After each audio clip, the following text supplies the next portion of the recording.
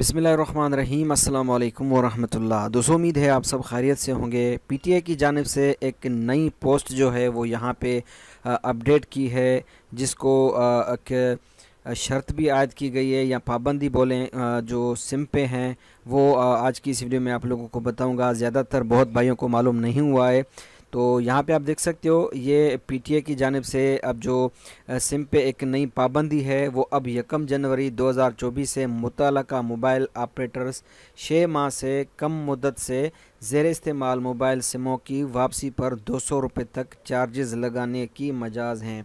तो इसका मतलब क्या है कि जितने भी लोग हैं, वो नई सिम लेते हैं, नया सिम ख़रीदते हैं तो उसको अगर छः महीने से कम इस्तेमाल करते हैं, यानी छः महीना उसको उसको इस्तेमाल नहीं किया, एक महीना किया, दो महीना किया, फिर उसको वापस करना चाहते हैं, बंद करना चाहते हैं तो उस पर दो सौ रुपये चार्जेस देने होंगे।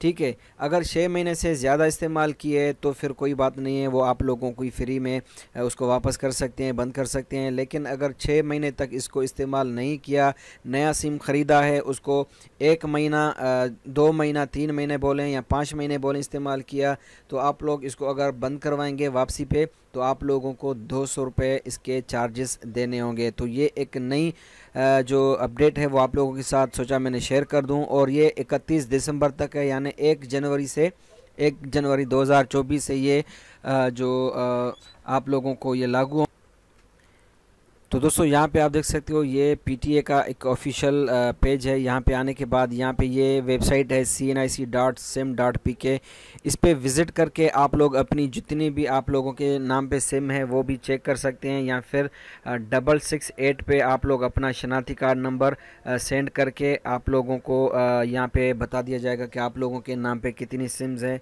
जो कि आप लोगों की अगर एक्टिवेट हैं और आप लोग जो यूज़ कर रहे हैं, उसको आप लोग चलाएँ या फिर जो आप लोगों के ज़ेर इस्तेमाल में नहीं है तो आप लोग उसको बंद करवा सकते हैं। उम्मीद करता हूँ आप लोगों को बात समझ में आ गई होगी। वीडियो अच्छी लगी है तो लाइक शेयर ज़रूर करें। चैनल पे नए हो तो चैनल को सब्सक्राइब करना ना भूलें। अपना बहुत ख्याल रखिएगा। इंशाल्लाह मिलेंगे नेक्स्ट वीडियो में। अल्लाह हाफि